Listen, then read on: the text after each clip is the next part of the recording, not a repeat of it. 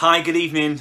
Welcome to our online evening service here at Charlotte Chapel on the 28th of March 2021. It's a, a real pleasure to have you here with us, wherever it is that you're tuning in from. And we do have people from uh, all across the world. We want to extend a warm welcome to you. We pray that you'll be blessed and encouraged as you hear God's word read and, and preached. Uh, and uh, as we pray, the Spirit of the living God uh, ministers to you through what's going on here in our evening service. Um, just to introduce myself, my name's Ashley, and I serve as one of the pastors in training here at, at Charlotte Chapel.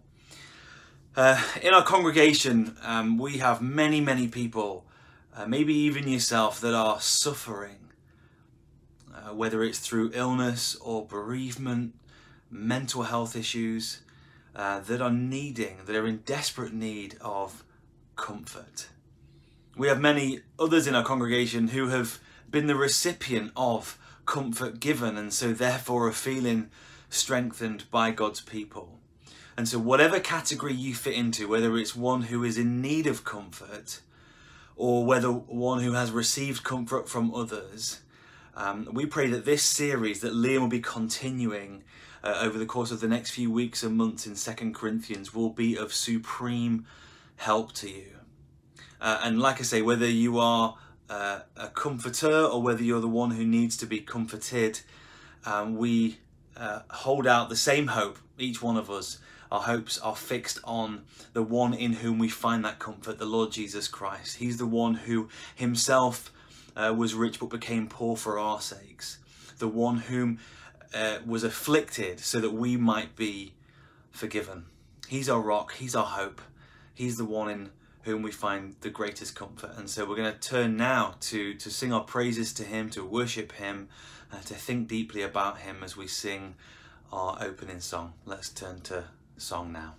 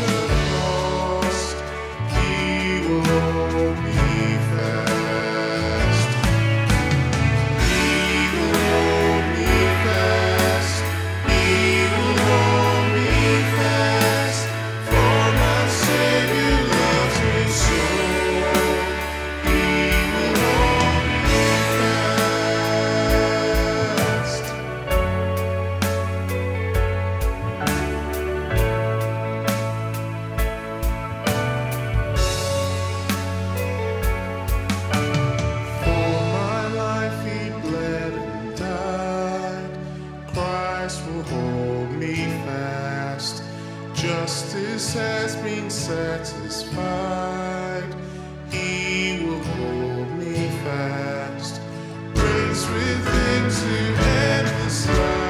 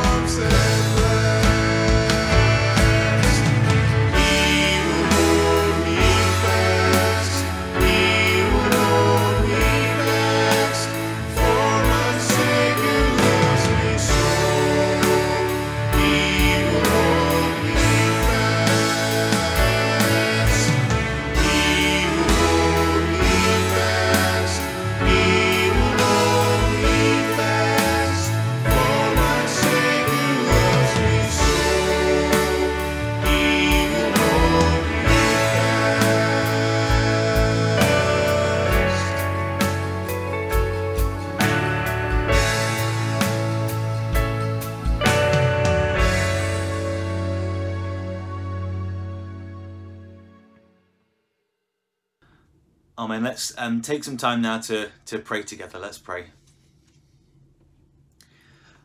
Father, we thank you that when all is said and done, when we see you face to face in glory with our new resurrected bodies and the new creation, we will all proclaim with one voice that it was yet not I, not our strength, not our will, not our might, um, but it was the strength that we got in and through the Lord Jesus Christ. It was He who held us fast. It was to Him who we looked. Uh, and He was the one who helped us through every trial, every tribulation, every suffering, every joy, all to the praise uh, of Your name. And Lord, we want to say with the Apostle Paul that yet we work uh, tirelessly with all the energy that you work in us and yet it would still be to your glory. Oh, Father, we're not in glory now, though. We are uh, still in this in between part, and we pray for your help. We pray that your Spirit would strengthen us in the inner man and in the inner woman, that we would be filled with a, a real knowledge and a sense of your will, uh, that we would be strengthened in every work bearing fruit, uh, the good works that we do, the, the uh, the characteristics that are developed within us, and that we might uh, persevere for the sake of joy and for the sake of the glory of your name. And Lord, that you would even be pleased in and through us to bring others to a knowledge of this great uh, gospel truth of new life in the person of the Lord Jesus Christ and of this future hope that's coming to all those who believe. And until that day, Lord, we pray that you would just strengthen us, that you would um, have your way amongst us as a church family. We pray particularly for those who might be struggling uh, and suffering in the fight. Lord, be their rock, be their help, be all that you have promised that you will be. Uh, and we um, pray all these things in and through the name of the Lord Jesus Christ. Amen. We're going to uh, read the Bible now, and one of our church members, Charlie, is going to read to us from the book of Second Corinthians. So we'll turn to that Bible reading now. The Bible reading is taken from 2 Corinthians chapter 1 verses 1 to 11. 2 Corinthians chapter 1 verses 1 to 11.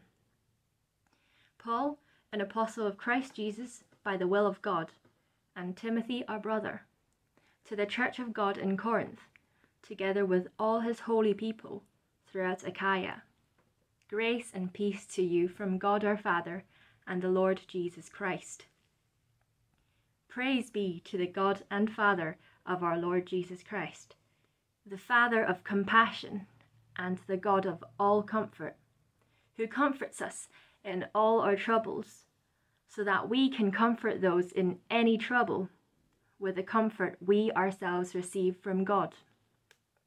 For just as we share abundantly in the sufferings of Christ, so also our comfort abounds through Christ. If we are distressed, it is for your comfort and salvation. If we are comforted, it is for your comfort, which produces in you patient endurance of the same sufferings we suffer. And our hope for you is firm because we know that just as you share in our sufferings, so also you share in our comfort. We do not want you to be uninformed, brothers and sisters, about the troubles we experienced in the province of Asia. We were under great pressure, far beyond our ability to endure, so that we despaired of life itself. Indeed, we felt we had received the sentence of death. But this happened that we might not rely on ourselves, but on God, who raises the dead. He has delivered us from such a deadly peril, and He will deliver us again. On Him we have set our hope that He will continue to deliver us, as He help us by our, your prayers. Then many will give thanks on our behalf for the gracious favour granted us in answer to the prayers of many. Thanks for reading that, Charlie. Um, what we'll do just before Liam comes to preach on that passage that was read out uh, a moment ago, we'll we'll pray. We'll pray for the needs here for ourselves as a church. We'll think more widely across this world, uh, and we'll turn our eyes and our hearts and our ears as well to uh, the message that we're about to hear. So let's join together and let's pray. Father, we uh, want to come to you as your people, giving you praise and thanks for the wonderful plan of salvation, where you have rescued men and women from the domain of darkness, and you have brought us into the to your wonderful light, to the to the kingdom of your Son, who you love. And this was all a work of, of grace, of mercy, uh, and Lord, uh, none of us deserve the least of it but you're so rich in mercy and grace that you lavished your love upon us, and that now we stand in Christ, forgiven, redeemed, and with great access to you as our Father. Um, we thank you and we praise you that we can bring all of our burdens, all of our cares, all of our praises to you. Thank you that you're the creator and the sustainer of the universe and that there's nothing, nothing outside of your will or your power or your plan. You will even work the, the dark things, the painful things, the struggles for the good of all those who are trusting in your Son and in your plans and in your purposes. And for that we thank you. Father, we bring before you uh, our church family. There are many in our church family suffering, those who have recently been bereaved, those who um, whose loved ones are in the, the throes of death those who are silently struggling with mental health issues, anxiety, depression, those who are battling sins of, of addiction, whether it's to pornography or to food or to pride or whatever, any such thing. Lord, there are those that are struggling, and the, the lockdown within this nation has only, in many ways, intensified these things by um, uh, separating the possibility of being able to gather as a church family and to receive the normal means of grace.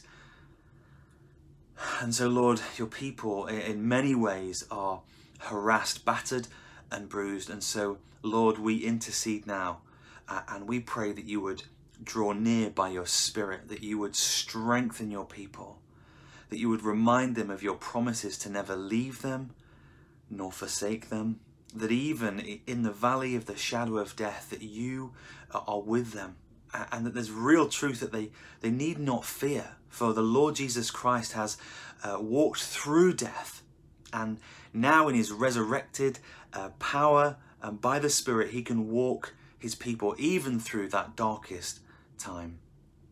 We thank you that by his blood he has overcome uh, the, the power that sin once had on people. And so we can now say no to the slavery of sin uh, and yes to slavery in Christ. Uh, and in and through the power of his resurrection, he can free us from addictions to everything.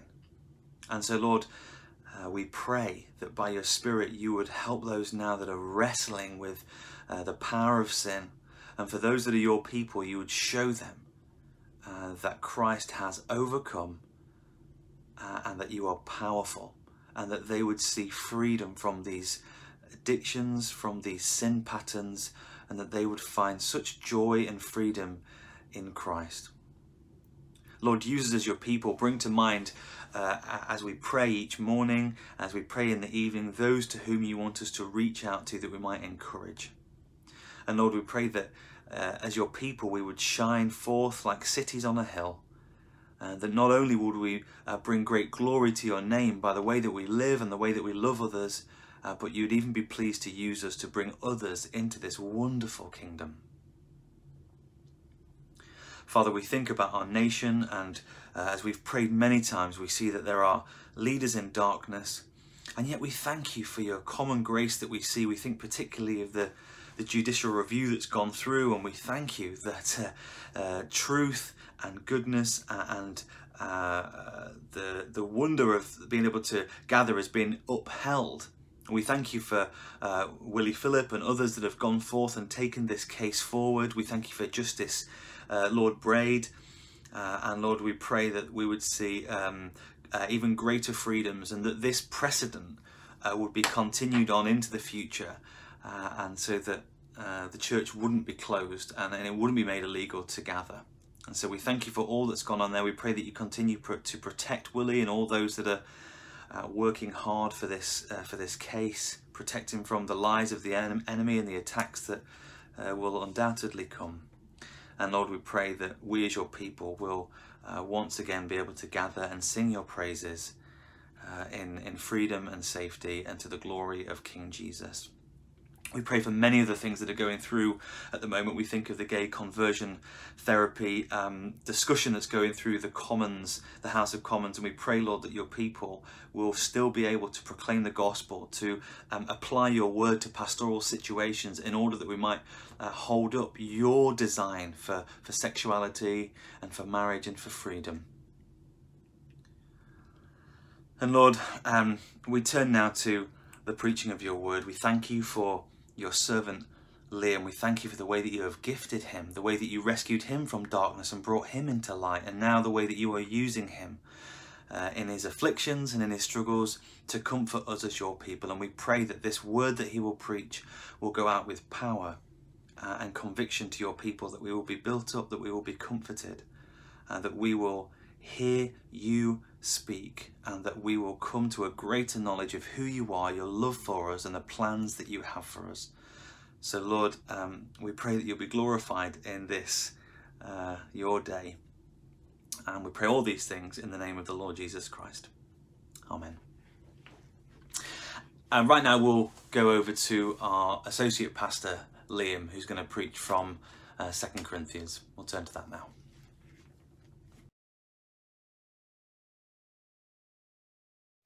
Susan and Charlie were chatting as they walked off their Sunday lunch. They weren't talking about the sermon, they were talking about the pastor, John. Now, he's not that impressive, is he? says Susan. He fumbles his words, relies on his notes, lacks any oomph. Yep, said Charlie, and I wish he would stop talking about how everything's a struggle. Life's a struggle, marriage is a struggle, preaching's even a struggle. How is that going to do us any good, they moaned. Hyung Min and May are also out for a walk. Uh, they too were talking about Pastor John. Now, May's been ill for weeks and the docs are suspicious. They were coy about her blood results but clear about the need for further tests. Sounds serious. Hyung Min looks at their three boys playing further up the track and hides a tear. He feels weak and worried. He doubts he has the strength to support May to help the boys, or even to trust God. But May says, I really appreciated Pastor John's honesty this morning about his own struggles. It really helped me see how God cares for us in ours. Yes, says Hyung Min, it did me the world of good. Now, these couples have different expectations of their pastor. One expects him to be stoical, strong in himself, weakness hidden. The other expects him to be, well, biblical, weak in himself, but strong in God. Which one are we? It's an important question because God has chosen one of these to be the means by which He comforts and strengthens church members. Which one is it? The Stoical one or the Biblical one? Well, it's obvious, isn't it? It's going to be the Biblical one. But 2 Corinthians 1 4 to 11 says so. It says that God strengthens suffering church members through the overflowing comfort he gives suffering church leaders who, in their afflictions, have learned to rely on God. That's my summary sentence for the whole passage. God strengthens suffering church members through the overflowing comfort he gives suffering church leaders who, in their afflictions, have learned to rely on God. Now, of course, like I said last time, this applies primarily to pastors, to church leaders, but the principles are secondarily true to all of us. God strengthens others in their suffering through the overflowing comfort that He gives us in ours as we learn to rely on God. Well, let's get into the passage 2 Corinthians 1 4b through to 11. And let's not forget the context that we walked through a couple of weeks ago.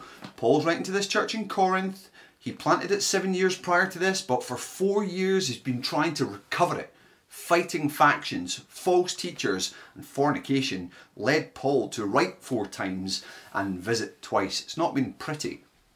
But this letter is written to encourage the 80% who are repentant in their recovery as a gospel church and the 20% who are unrepentant to repent or meet the discipline of the apostle when he visits next. And last time in verses 1 to 4, we saw that God was introduced to us as the God and Father of our Lord Jesus Christ, who is praiseworthy. Praiseworthy for who he is, God of all comfort. And praiseworthy for what he does. He kindly comforts us in all our troubles.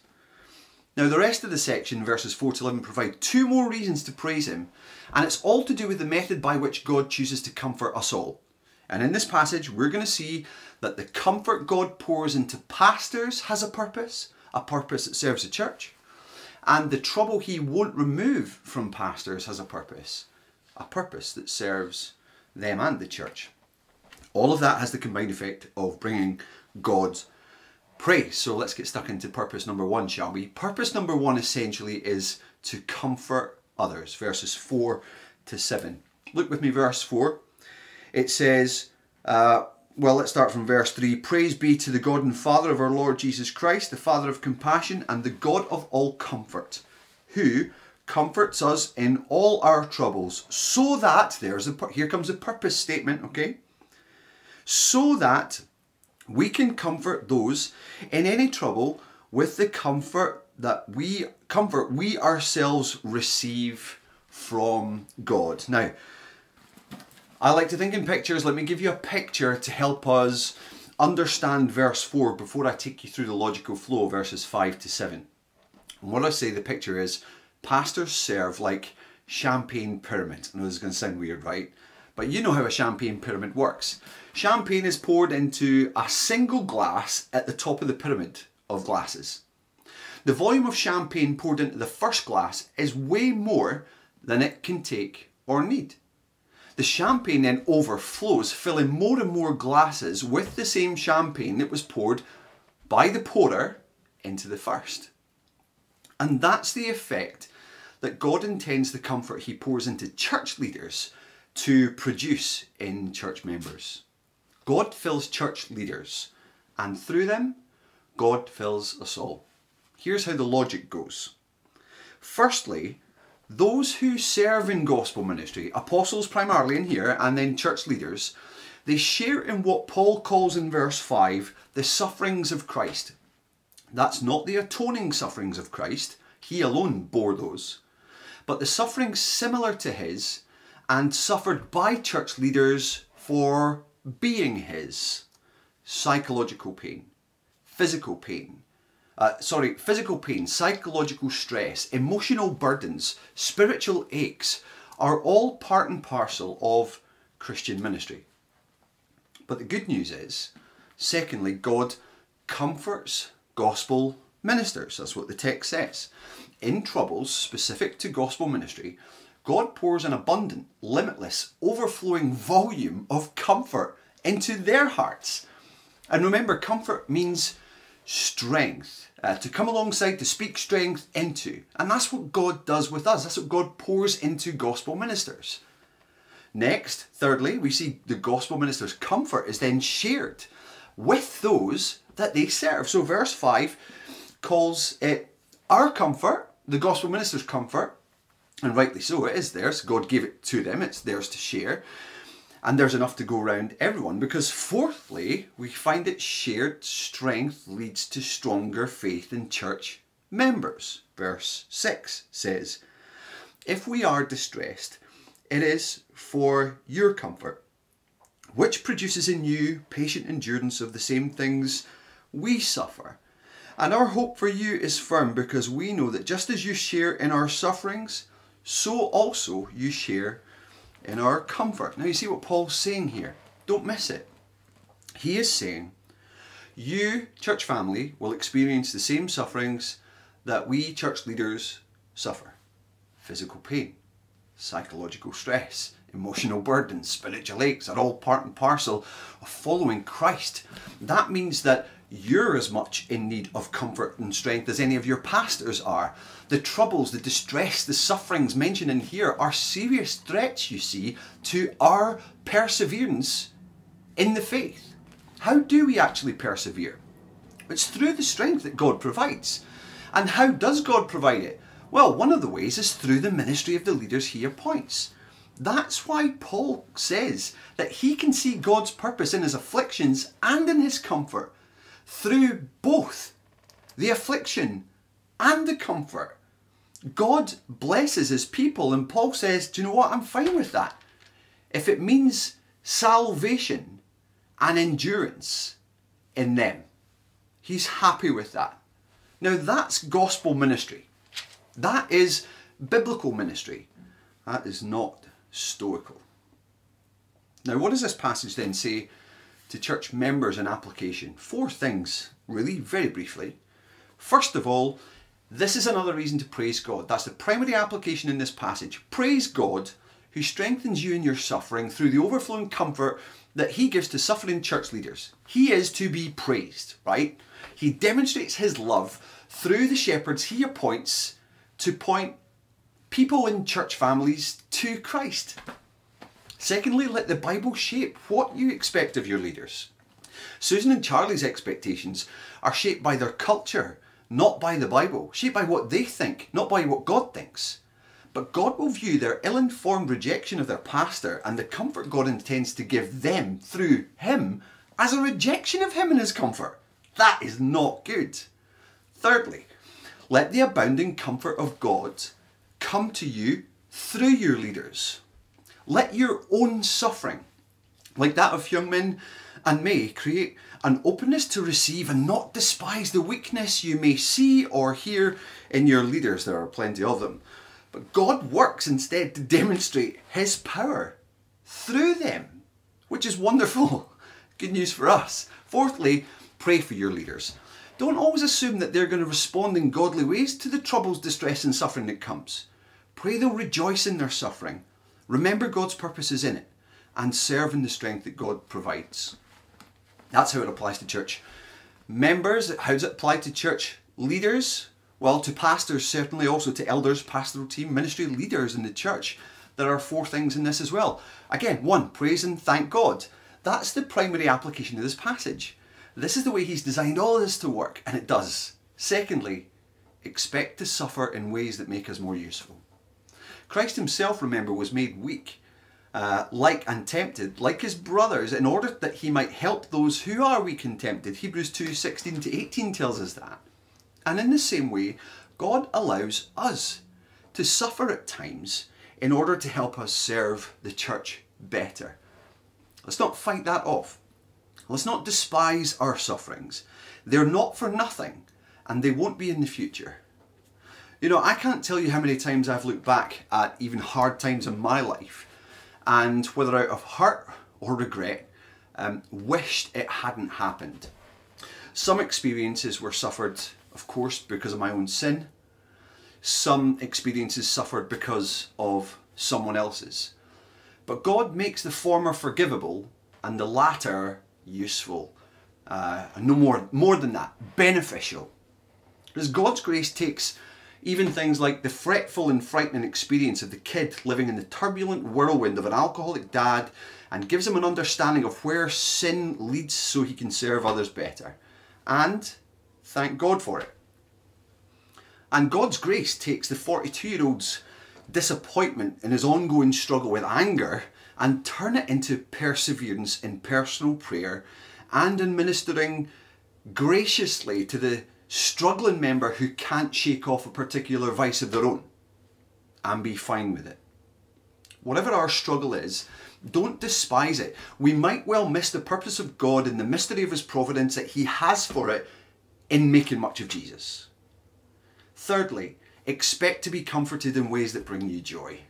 Besides Jesus himself, glorious in himself, Paul seems to have suffered more than anyone else in ministry has suffered, but I've never read of anyone who rejoiced as much as Paul did.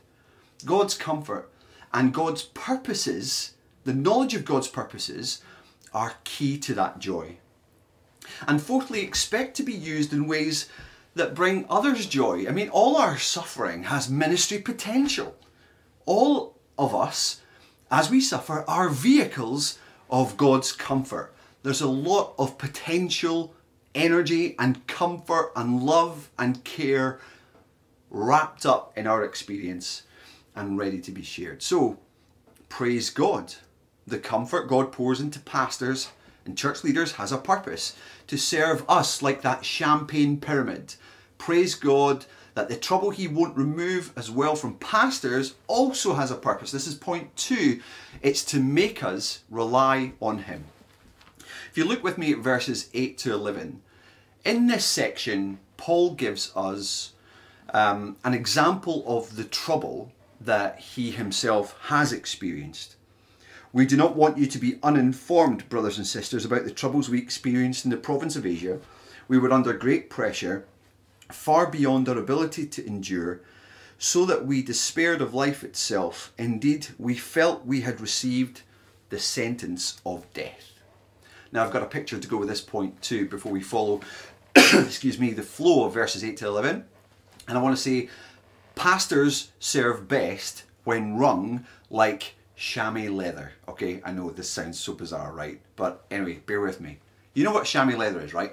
If you're washing your car, and if you let your car dry in the sun after washing it, you get those dry, kind of, they're not lime scale, but it's lime scaly looking deposits all over, right? You prevent that by drying the car well with a chamois, right? But no chamois is big enough to dry an entire car. A chamois works best when you wring it out regularly. You get the water out by wringing it hard, not so hard that you ruin it, not so hard that you rip it, but hard enough that you can use it again to good effect.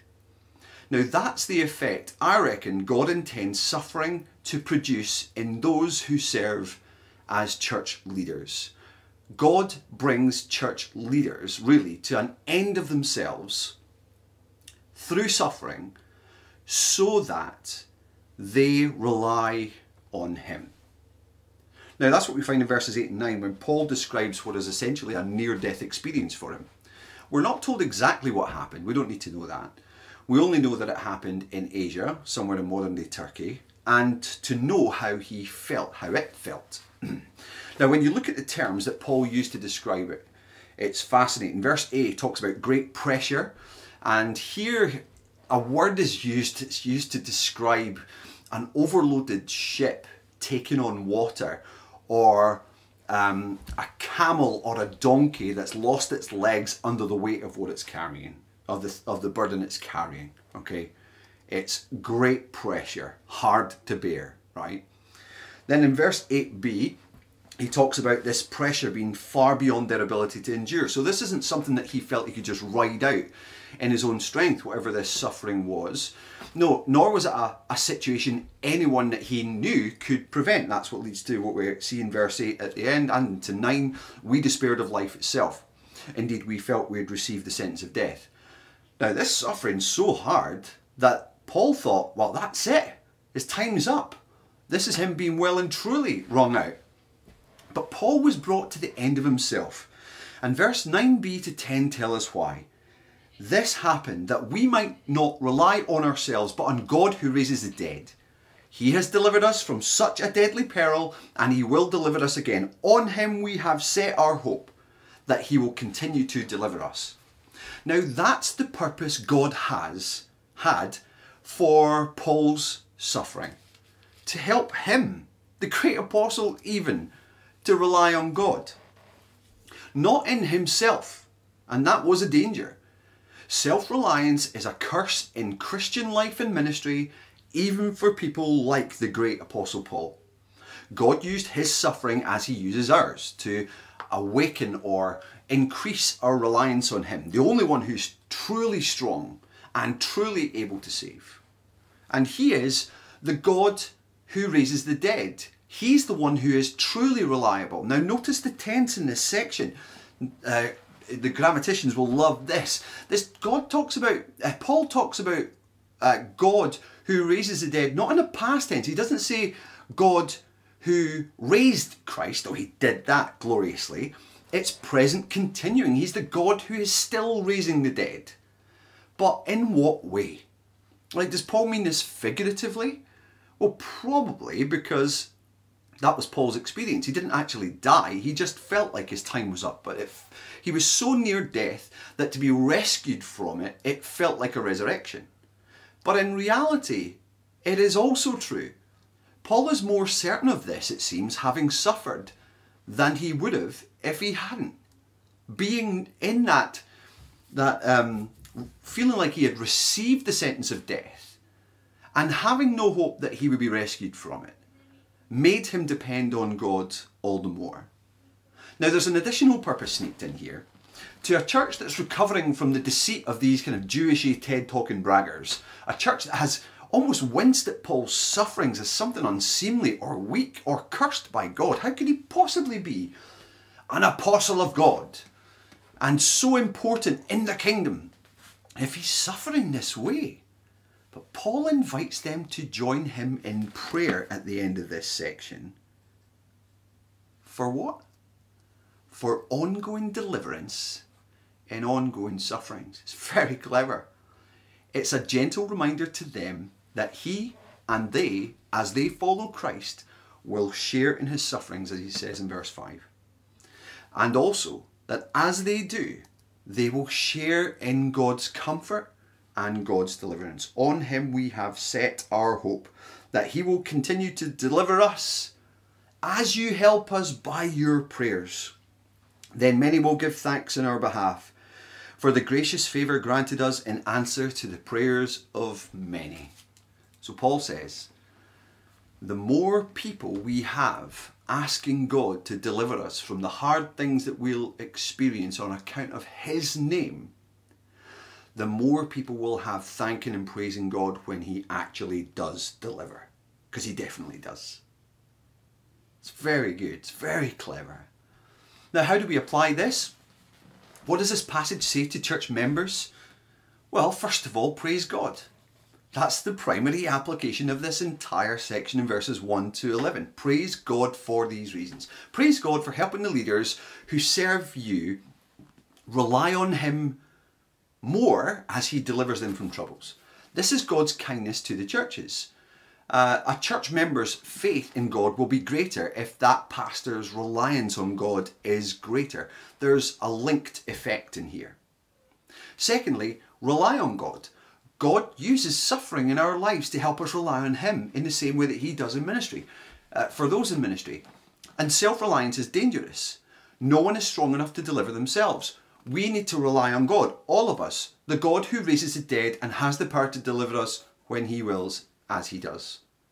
Now, I do want to add that this reliance on God applies as much to the times when suffering lingers longer than we would like. I mean, God didn't remove Paul's affliction straight away he took him to a point of, well, despair and distress. And God doesn't promise to remove ours instantly either. But in his good purposes, he is, in those sufferings, shaping us and our faith, and he is preparing us to use it, to minister those lessons and that faith to others. Thirdly, pray for your pastors. You're helping them in their ministry by praying for them. You know, whether you're a Susan or a Charlie, fed up with the guy you've got, or a Hyungmin and May, served well by the guy you've got, pray for your pastors and help them be all that God wants them to be. Use passages like Acts 20 or 1 Thessalonians 1 and 2 and 3. Turn those texts into prayers for them. Anything they do that's good as well, anything praiseworthy that's achieved, give thanks to God. Because anything like that is, as Paul calls in verse 11, gracious favour granted in answer to the prayers of many. Anything good in your pastors is not their doing, it's God's, and He deserves the glory. That's how it applies to church members. How does it apply to church leaders? Well, three quick things. One, we praise God. He loves us enough not to leave us as we are, but to make us more effective in the ministry He calls us to do. And while he does that in all the positive ways of education, encouragement, and joy, he does it just as much in our experience of darkness when we're being wrung and made ready for use again. Secondly, rely on God. I don't think I know a single pastor who would say, I'm totally self sufficient in ministry, I've got it made, I'm competent in myself to do this. It's much more common to hear pastors express the opposite. We know our insufficiency for the task largely. But can I ask, as I ask myself, do you pray? I think prayerlessness, in all likelihood, betrays that we're more self reliant than we realise. We do the tasks more than we get on our knees. That's dangerously self reliant. Please, would you pray for me in this and all of us in pastoral ministry and church leadership in the church family that we would be people of prayer. Thirdly, I, oh, I guess I've just done it. Invite people to pray for you. In our church family, I'm so grateful that many do. Thank you, brothers and sisters, for the way in which you pray for those in leadership and life of the church. But church leaders, we need to be much better at inviting more and more people to pray and to fuel their prayers, make them help people to pray more specifically, so that in the end, the amount of thanksgiving that goes to God greatly increases. More praise to Him through more people praying is good because God is the one who does the work. If you're watching this and you're not a Christian, I wonder how this sounds listening in. I wonder how you cope with suffering. I wonder if you've ever been brought to that point where, with the Apostle Paul, you've you've maybe you've maybe kind of experienced suffering in some way that's brought despair, or maybe you're really afraid of the time when that will happen. Maybe a time when you yourself will approach death and you worry about what's next. Can I encourage you to get in touch and ask us about this so that we can point you to the Lord Jesus Christ about whom this passage speaks? The one who suffered on our behalf, the one who was delivered not from that death but through death by God the Father Himself raised up to new life, having died for the sins of those who put their trust in him, so that we might know forgiveness, so that we might know his presence with us, so that we might know his comfort and his help in times of trial. If you don't know him, put your faith and trust in him. Confess your sins and come to Christ. He alone is our strength. Música